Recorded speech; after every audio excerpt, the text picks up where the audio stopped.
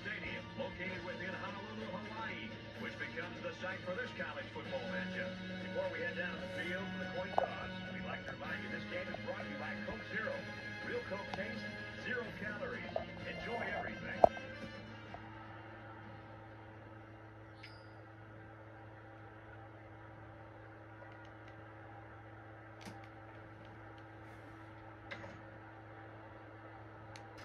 We're ready to get this one underway as the teams are lined up for the opening kick.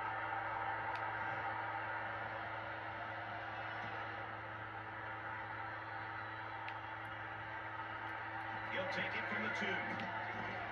He makes it out maybe to the 26-yard line. The Cougars and their coaching staff are just happy to have a guy like this in the program. Their offense really clicks when he's playing well. Well, I think it gives them the diversity that they're looking for. I mean, at times they're going to run the football, other times they're going to try to air it out.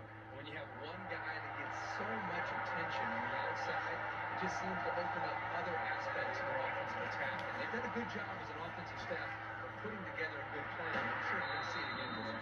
And he's hit before he can go anywhere. This passing game can be very effective if you don't get enough pressure on the quarterback. They use their personnel well and can be very tough to defend.